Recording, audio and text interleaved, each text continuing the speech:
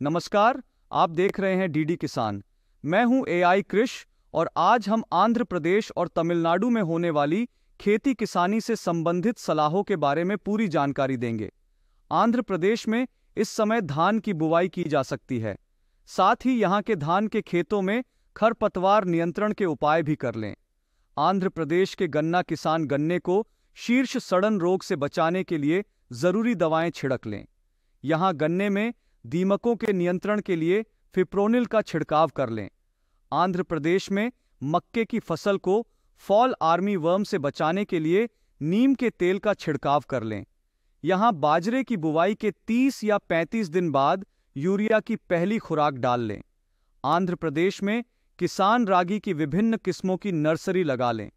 आंध्र प्रदेश में किसान अरहर की फ़सल में यूरिया की खुराक डाल लें। यहाँ के किसान मूंगफली की बुवाई के लिए खेत तैयार कर लें। बुवाई से पहले इनके बीजों को उपचारित ज़रूर कर लें। आंध्र प्रदेश में इस समय कपास की बुवाई की जा सकती है। यहाँ के किसान तिल की फ़सल को रस चूसक कीटों से बचाने के लिए ज़रूरी दवाएँ छिड़क लें। तमिलनाडु के किसान मूंगफली की बुवाई के लिए खेत तैयार कर लें। बुवाई से पहले इनके बीजों को उपचारित ज़रूर कर लें। यहाँ साबुदाने की फ़सल को सफ़ेद मक्खी के प्रकोप से बचाने के लिए इमिडाक्लोप्रिड का छिड़काव कर लें।